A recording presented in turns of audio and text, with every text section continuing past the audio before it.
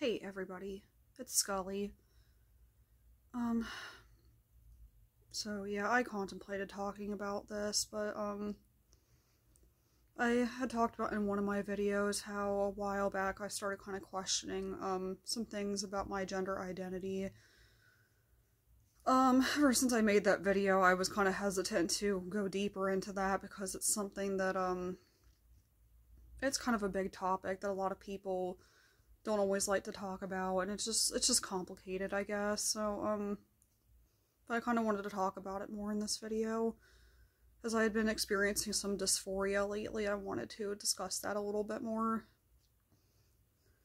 So um I thought it would be easier to kind of talk about it from my own personal experience because I know that what somebody else with dysphoria may be feeling might be different than what I experience and this is something that I'm still kind of new to, so I don't want to I don't want to invalidate anybody else's experience um, by talking about dysphoria because I truthfully I'm just I'm not I'm I'm probably just not as um knowledgeable about the topic as other people are, so I felt it was best to just kind of talk about it from my own personal experience rather than kind of painting everybody with the same brush, so to speak. So, um, in my case, uh, I came out as non binary last year. Whether or not this is something that I've always had, I'm still not sure. It's just so complicated because when I think of myself as a kid, I always want to call myself little girl, but I don't know, maybe this has been here longer than I thought, and maybe I was never aware of it until I was older. But it's just interesting how I grew up feeling very feminine, you know, puberty was very exciting for me. I, it felt very gender affirming at the time, just seeing my body change into what I thought was a young woman. And now that I'm older, I I can't help but look at my body a little differently now. Oh, all in all, I feel very blessed because um, I still love my body the way it is. I still feel like that I was blessed with a lot of qualities that not everybody has. You know, I, I'm I don't feel like I'm as picky about some of the things in my body as somebody else might be, but if I do have days where I feel more dysphoric, it's usually on my days that I feel more masculine, because on my feminine days, I feel like that everything, you know, everything matches pretty well since I, you know, am female presenting. So, you know, I, you know, can put on some makeup, feel pretty confident, like the way I look, like my hair, you know, clothing that accents me usually goes pretty well. But on days that I feel more masculine, it just feels a little bit more complicated because I, I can't change the way my body looks on those days. I have what I have. There's no changing it. I mean, there's some things I can do to make myself feel more confident, perhaps, but you know, like I feel like on my more feminine day uh, days, I um, I didn't really want to talk about my breasts all that much, but it is it's a part of my body that I have. You know, obviously on my feminine days, those aren't so, so bad. I like them most of the time. Make clothing look nice. They're there. It is what it is. But on more, my more masculine leaning days, sometimes I do kind of feel like they get in the way a little bit. And sometimes I just wish I had, you know, parts of my body that seemed more masculine on my more masculine days. And again, I'm stuck with what I have. I can't change it.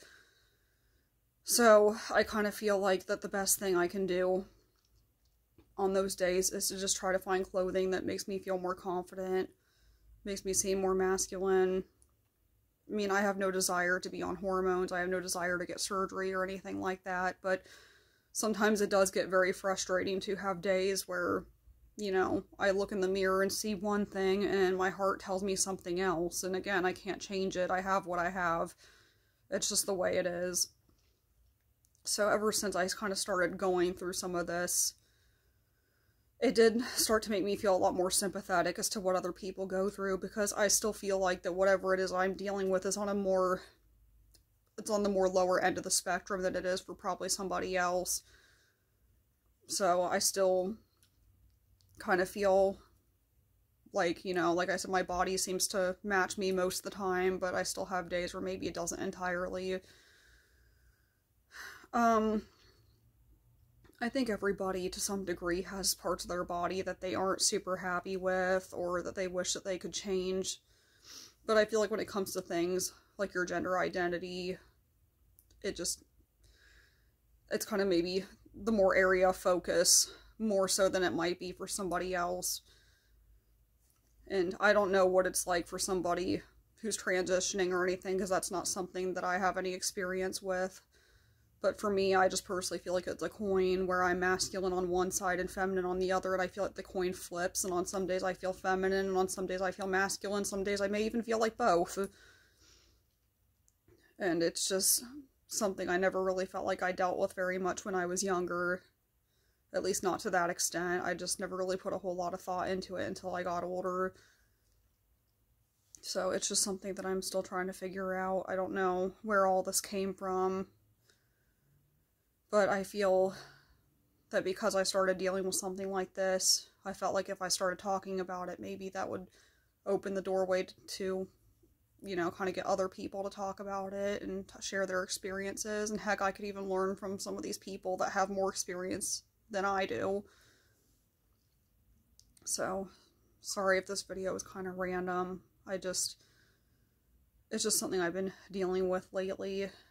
And, um, I don't really know, again, what's causing all of it. Supposedly, I may have a pituitary tumor. I don't know if that's what's been causing some of what I've been dealing with. And it's not to take away from anybody else's experience because again somebody's going to be dealing with this differently than i am and they may be dealing with it for different reasons than i am so that's why i wanted to kind of just share from a, more from my personal perspective so i don't i don't want to take it away from somebody else because just because i may deal with this one way doesn't mean it's the only way to deal with it i mean people have different ways of dealing with anything in life and this is just simply my take on it